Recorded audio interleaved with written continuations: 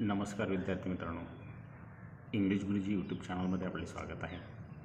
विद्यार्थी मित्रांनो आजच्या या व्हिडिओमध्ये आपण वर्ग बारावी विज्ञान शाखेनंतर तुम्हाला जे विविध उच्च शिक्षणासाठी ज्या ज्या कोर्सेसला जायचं आहे ज्याला आपण वैद्यकीय कोर्सेस म्हणूयात इंजिनिअरिंगचे कोर्सेस म्हणूयात बी एस सी ॲग्रीचा कोर्स आहे किंवा त्याचबरोबर बी फॉर्मसीचा कोर्स आहे या संपूर्ण कोर्सेसला जात असताना आपल्याला कोणता कोणता क्रायटेरिया प्रवेशासाठी लागतो याविषयी संपूर्ण माहिती पाहणार आहोत. व्हिडिओ शेवटपर्यंत पहा. त्याचबरोबर संपूर्ण पुढील प्रवेश प्रक्रियेसाठी इंग्लिश गुरुजी यूट्यूब चॅनल सबस्क्राईब करा जेणेकरून या इंग्लिश गुरुजी यूट्यूब चॅनलवरती तुम्हाला संपूर्ण व्हिडिओ प्रवेश प्रक्रियेसंबंधीचे सुद्धा पाहायला मिळतील. चला तर बघूयात आपण की मेडिकल प्रवेश प्रक्रियेसाठी कोणकोणती कागदपत्रं लागतात आणि कशा पद्धतीने ही प्रवेश प्रक्रिया होत असते. बघा विद्यार्थी मित्रांनो.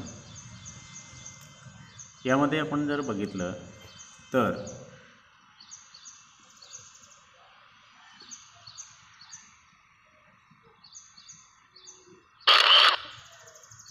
इथे पहा विद्यार्थी मित्रांनो इथे जर आपण पाहिलं तर सर्वप्रथम आपण या ठिकाणी लक्ष घालूयात की मेडिकल ही प्रवेश परीक्षा मेडिकलला जायचं असेल तर नीट ही प्रवेश परीक्षा द्यावी प्रवेश परीक्षा द्यावी लागत असते.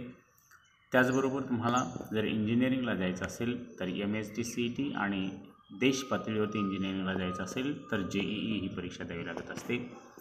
त्याचबरोबर फार्मसी ॲग्रिकल्चर करायचं असेल तर M S T C E T ही जी स्टेट लेवलची एक्झामिनेशन आहे ती द्यावी लागत असते.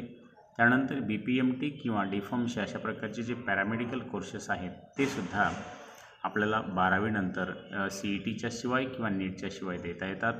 आणखी काही पॅरामेडिकल कोर्सेस आहेत ज्याला आपण नंतर पाहणार आहोत. तसेच काही टेक्निकल पॅराटेक्निकल कोर्सेस आहेत. जे paratechnical courses for example polytechnic किंवा आय टी आय हे सुद्धा आपल्याला बारावीनंतर करता येत असतं. त्याचबरोबर बघा विद्यार्थी मित्रांनो पहिला आपण कोर्स जो पाहणार आहोत तो कोर्स आहे एम बी बी एसचा. तसं पाहिलं तरी M B B S bachelor of साय medical medicine and bachelor of surgery असं याला याचा फुल फॉर्म आहे. याचा कालावधी किती आहे? तर तो पाच साडेपाच वर्षाचा कालावधी आहे. साडेचार वर्षाचा कोर्स आहे आणि एक वर्षाचं इंटर्नशिप आहे. याला इजि इलिजिबिलिटी काय लागते? तर ट्वेल्थ सायन्स आणि फिजिक्स केमिस्ट्री बायोलॉजीला पन्नास टक्के जनरल कॅटेगरीला असावेत आणि पंचेचाळीस टक्के हे जे काही आहेत ते S C S T O B C आणि ई डब्ल्यू एस या कॅटेगरीला लागतात. एंट्रन्स एक्झाम कोणती असते? तर यावरती सध्या फक्त आणि फक्त नीट एक्झाम आहे. आधी एम्स आणि जिपमळ ह्या एक्झाम होत असायच्या.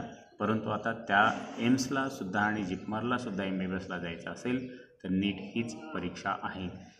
नीटचा स्कोर काय लागत असतो? तर तो दरवर्षी कटअप जो आहे तो चेंज होत असतो. आपण आपल्या प्रवेश प्र प्रक्रियेचे संपूर्ण संबंधित एक व्हिडिओ करणार आहोत. त्यामध्ये तुम्हाला संपूर्ण माहिती मिळेल. यामध्ये काही कॉलेजेस प्रायव्हेट कॉलेजेस असतात काही गव्हर्मेंट असतात आणि काही डीम्ड युनिव्हर्सिटी असतात. तर तर डीम्ड युनिव्हर्सिटी काय? याबाबतीतसुद्धा मी एक व्हिडिओ करेल ते तुम्हाला लक्षात येईल.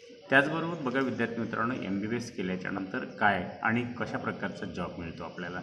सगळ्यात आधी महत्त्वाची गोष्ट म्हणजे डॉक्टर ही उपाधी लागते आपल्याला समाजामध्ये. प्रतिष्ठा आपल्याला निर्माण होत असते. त्यानंतर एम डी हे पोस्ट ग्रॅज्युएशन करता येतं. एम एस हे सुद्धा पोस्ट ग्रॅज्युएशन करता येतं.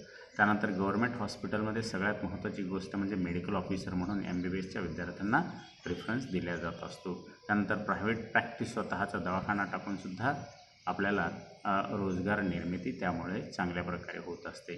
त्यानंतर एम डी जर केलं तर किंवा एम एस जर केलं तर मेडिकल कॉलेजला प्रोफेसर किंवा लेक्चरर म्हणूनसुद्धा आपण काम करू शकतो. त्यानंतर वैज्ञानिक आणि संशोधक म्हणूनसुद्धा आपल्याला या ठिकाणी वाव आहे. आता आपलं उत्पन्न किती असू शकतं? सगळ्यात महत्त्वाची बघा गोष्ट विद्यार्थी मित्रांनो आपण सगळं गोष्ट कशासाठी करत असतो? तर इ इन्कम जो काही स्रोत आहे तो आपला वाढावा या हेतूने करत असतो. त्यामध्ये साधारणपणे पन्नास हजारापासून सत्तर हजारापर्यंत पर मंथ सॅलरी ही कमी झाली. ही सॅलरी जर तसं पाहिलं तर एक लाखाच्या वर आहे. मी मी मिनिमम हे एवढं सांगत आहे. आणि वर्षाचं उत्पन्नसुद्धा हे प्रायव्हेट प्रॅक्टिसचं उत्पन्न फार मोठं आहे. मी मिनिमम सांगतो आहे आठ ते दहा लाख रुपये. आणि परदेशामध्ये जर तुम्ही जर गेलात तर तुम्हाला परदेशामधलं उत्पन्न जे काही ते फार मोठ्या प्रमाणामध्ये बारा ते चौदा लाख तसं पाहिलं तर आपल्या इंडियामध्ये सुद्धा एका एका डॉक्टरचं उत्पन्न हे प्रचंड मोठ्या प्रमाणामध्ये असू शकतं. परंतु हा स्किलफुल जॉब आहे. तुम्ही कौशल्य कशा वापरू शकता त्यावर डिपेंड आहे. म्हणून M B B S course हा अतिशय महत्त्वाचा आहे. तुम्ही करू शकता. यानंतरचा कोर्स जो येत असतो बघा विद्यार्थी मित्रांनो तो नंबर दोनला आहे. बी डी एस हा सुद्धा ॲलोपॅथीमधलाच कोर्स आहे. बॅचलर ऑफ डेंटल सर्जरी ज्याला म्हणतात. आणि तो पाच वर्षाचा आहे. चार वर्षाचा डिग्री आहे आणि एक वर्ष एंटर्नशिप आहे. यालासुद्धा एम बी बी एससारखंच पी सी बी ग्रुपला पन्नास टक्के जनरल कॅटेगरीला आणि चाळीस टक्के S C S T O B C आणि ई डब्ल्यू एस कॅटेगरीला परीक्षा कोणती लागते? तर इथे सुद्धा परीक्षा नीट परीक्षाच लागत असते त्यानंतर त्यानंतर याचा कटऑफ वगैरे हा सुद्धा दरवर्षी चेंज होत असतो. आपल्या सेपरेट एका व्हिडिओमध्ये आपण टाकूयात. प्रायव्हेट कॉलेज असतात डीम्ड कॉलेज असतात आणि गव्हर्मेंट कॉलेजला सुद्धा ह्याला आपल्याला ॲडमिशन मिळतं. त्याचबरोबर काय करिअर आहे याच्यामध्ये? याच्यामध्ये जर करिअर पाहिलं विद्यार्थी मित्रांनो तर इथे डॉक्टर ही उपाधी लागते. त्यानंतर आपल्याला पोस्ट ग्रॅज्युएशन म्हणजे एम डी एस करता येतं आणि एम डी एस केल्याच्यानंतर आपल्याला प्रायव्हेट प्रॅक्टिससुद्धा करता येत असते आणि त्यानंतर डॉक्टर म्हणून गव्हर्मेंट हॉस्पिटलला प्रायव्हेट हॉस्पिटल इन्स्टिट्यूशनला संस्थेला आपण प्रोफेसर म्हणूनसुद्धा काम करू शकतो. आणि वैज्ञानिक म्हणूनसुद्धा आपल्याला काम करता येतं. फार्मास्युटिकल कंपनीमध्ये सुद्धा याला फार मोठा स्कोप आहे. आणि डेंटल साहित्य जी काही प्रोडक्शन आहे ते तयार करण्यामध्ये सुद्धा आपण या जॉब लागू शकतो. त्याचबरोबर जर आपण याचं उत्पन्न जर पाहिलं बी डी एसच्या डॉक्टरचं तर प्रति महिना साधारणपणे कमीत कमी चाळीस हजार ते पन्नास हजार हे फार कमी झालं. मी मिनिमम सांगतो आहे याचं उत्पन्न यांचं उत्पन्न हे तुमच्या स्किलवरती अवलंबून असतं. साधारणपणे एका दिवसाला दहा हजार रुपयेसुद्धा एखादा व्यक्ती कमवू शकतो. म्हणजे एका महिन्याचं उत्पन्न अडीच ते तीन लाखापर्यंत जाऊ शकतं. हे मी मिनिमम या ठिकाणी सांगत आहे. प्रायव्हेट प्रॅक्टिस असेल किंवा गव्हर्मेंट जॉब असेल. यानंतर बघा विद्यार्थी मित्रांनो नंबर तीनचा मेडिकलचा अतिशय चांगला कोर्स आहे. तो म्हणजे B A M ayurvedic bachelor of ayurvedic medicine and surgery या संदर्भातला. साडेपाच वर्षाचा हा सुद्धा कोर्स आहे. साडेचार वर्ष कोर्स आहे आणि एक वर्षे इंटर्नशिप आहे. एलिजिबिलिटी काय आहे यालासुद्धा बाराव्या वर्गानंतर नेट परीक्षा होत असते. त्यानंतर S C S T category O B C category याला चाळीस टक्के पी सी बीला लागतात. तर जनरल कॅटेगरीला पन्नास टक्के लागत असतात. आणि कटअप हा दरवर्षीसुद्धा चेंज होत असतो. या संदर्भात आपण एक वेगळा व्हिडिओ करणार आहोत. इथं काय त्याचं करिअर चांगल्या प्रकारचं आहे? तर सगळ्यात महत्त्वाचं डॉक्टर समाजामध्ये डॉक्टर ही पदवी लागत असते. त्यानंतर एम डीसुद्धा करू शकता पोस्ट ग्रॅज्युएशनमध्ये. त्यानंतर चांगल्या चांगल्या कॉलेजला प्रोफेसर म्हणून काम करू शकता. स्वतःचा जॉबसुद्धा करू शकता. स्वतःची प्रायव्हेट प्रॅक्टिस करू शकता. फार्मास्युटिकल कल कंपन्यामध्ये सुद्धा जॉब आहे. फार मोठा एक चांगल्या प्रकारचं या ठिकाणी बी एम एस केल्याच्यानंतरसुद्धा उत्पन्न आपल्याला करता येतं. त्यानंतर विद्यार्थी मित्रांनो याची सॅलरी ही सुद्धा सॅलरी मी कमीत कमी सांगितलेली चाळीस हजार ते पन्नास हजार सहा ते सात लाख दरवर्षी आणि आठ ते दहा लाख रुपये तुम्हाला वार्षिक उत्पन्न हे परदेशामध्ये मिळू शकतं. परंतु स्वतःची प्रॅक्टिस केली तर मी आधी सांगतो आहे की जास्त प्रमाणामध्ये इन्कम या ठिकाणी सुद्धा आहे. स्वतःची प्रॅक्टिस केली कौशल्य वापरलं चांगल्या पद्धतीने ट्रीटमेंट दिली लोकांना तर एका एका दिवशी तुम्हाला दहा ते पंधरा हजार रुपये उत्पन्न होऊ शकतं. एका दिवशीच उत्पन्न मी सांगतो आहे यानंतरचा महत्त्वाचा कोर्स आहे विद्यार्थी मित्रांनो बी एच एम एस हा जो कोर्स आहे तो सुद्धा पाच वर्षाचा आहे चार वर्षे डिग्री आहे आणि एक वर्ष इंटर्नशिप आहे. इथे सुद्धा बारावी पास लागत असतं. या ठिकाणी मात्र थोडासा एक रिलॅक्सेशन दिलेलं असतं. याला पी सी बी ग्रुप जो काही आहे तो नंतर रिलीज केला जात असतो. संपूर्ण कॅटेगरीला म्हणजे ग्रुप नसेल तरी नंतर काही दिवसानंतर तो रिलीज केला जातो. सुरुवातीला मात्र ग्रुप फॉर्म भरत असताना लागतो आवश्यक आहे. आणि मार्क्ससुद्धा याच्यामध्ये कमी केल्या जात असतात. तुमचे जे काही नीटचे मार्क्स आहेत ते नंतर बी एच एम एसला क्रायटेरिया हा चेंज केला जात असतो. सुरुवातीला क्रायटेरिया मात्र कॉमन करे क्रायटेरिया असतो.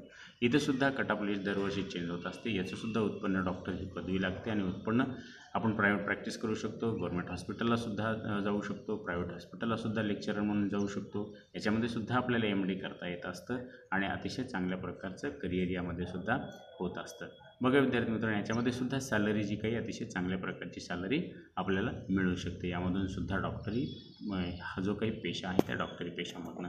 बघा विद्यार्थी मित्रांनो आज आपण सगळ्यात सुरुवातीला पाहिलेलं आहे M B B S B D S B M S आणि बी एच एम एस हे अतिशय महत्त्वाचे कोर्सेस आपण या ठिकाणी पाहिलेले आहेत. पुढील व्हिडिओमध्ये आपण उरलेले जे काही कोर्सेस आहेत गव्हर्मेंट जे असतील खाजगी असतील किंवा अतिशय महत्त्वाचे कोणते कोर्सेस आहेत? नीट परीक्षेशिवाय कोणते कोणते आहेत? किंवा सी ई टी परीक्षेवरती कोणते कोर्सेस आहेत? याविषयी आपण माहिती पाहणार आहोत. त्यासाठी व्हिडिओ बाकीचे संपूर्ण व्हिडिओ पहा आणि इंग्लिश गुरुजी चॅनल जे काही आहे यूट्यूब चॅनल ते सबस्क्राईब करायला विसरू